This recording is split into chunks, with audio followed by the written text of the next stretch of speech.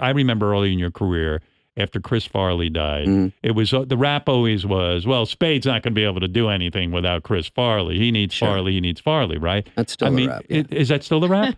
I mean, I hear it on Twitter. Yeah. Told you, David. Didn't make any sense, but you were like, mm. Yeah, well, you're like, mm. no, you're like, yeah. David and Chris, ladies and gentlemen.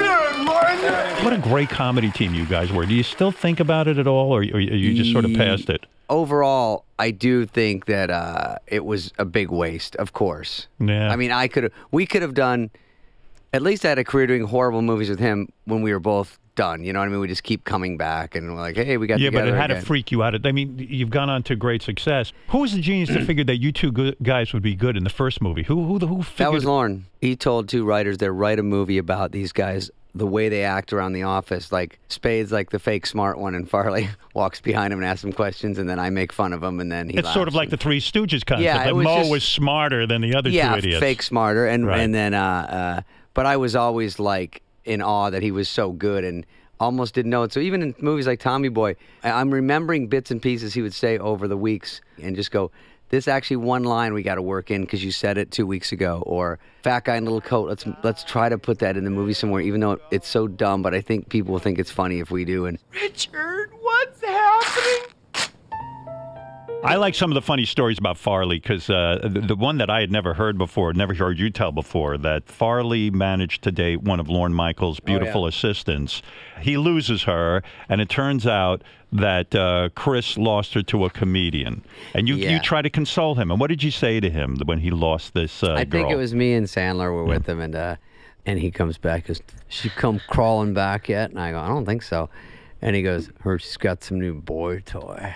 And I go, yeah. And he goes, well, because he's all cocky now, he's killing on the show. He goes, well, might be better looking than me, but he ain't richer. He ain't funnier, and he's not more famous. And we were just dead silent. and we are like, um, oh for three. It's uh, Steve Martin. she was dating Steve Yeah, and he goes, "Shut the fuck up." We're like, um, Richard. Farley could smarter." be viciously mean. You point out in his story that you were dating a girl who I guess was in Playboy.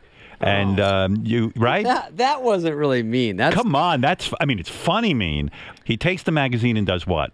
yeah. I went. I dated a girl for briefly who like, it, that was in Playboy, and I Right. couldn't believe it. So of course I was bragging. Right. At work, I have a little tiny office with Farley, and, Yeah. and then Adam and Chris Rock have the one you walk through my tiny one. Yeah. So we're all jammed in there. I go to read through, and Farley goes. He writes me a note and throws it over, and he's just staring at me, and he goes, "It says, David, did you go in the office yet?" And I go, I look over, I go, "We just came out of the office." He goes, "Go in," and I go, uh, "Okay, whatever." And then it, he gets closer to read to the break and read through, and he looks over and he goes, "Go in." He's mouthing it and laughing and rubbing his hands. I go, all right, whatever. So I get up to go in, and he has the Playboy out, and he jacked off all over it. yeah. There's jizz all over. That is disgusting, centerfold. But it's funny. It's so funny. I go, wait, what? Is that jizz? He goes, yeah. he was out of his fucking mind. Out of his mind. By the way, on the way to read through, which it, we had probably a minute after we walked out of there while he did it. Oh my god. He goes, I can come in under a minute. I go, really? What about when you're with a girl? He goes, who gives a fuck? I go, oh, oh, sorry.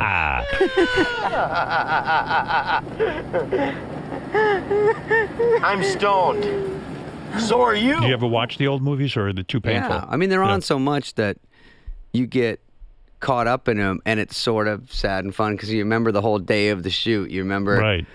one day going, uh, "Let's bring a little clip-on tie and say it's a clip-on," and you go, "Really?" And then we go, "Let's just try to put that in somewhere in the scene," because you'd see the mini sides for the next day and go, "This feels a little flat," like housekeeping from Tommy Boy. Housekeeping. I would do every morning when I came to his room. I'd go, housekeeping? And he'd go, uh.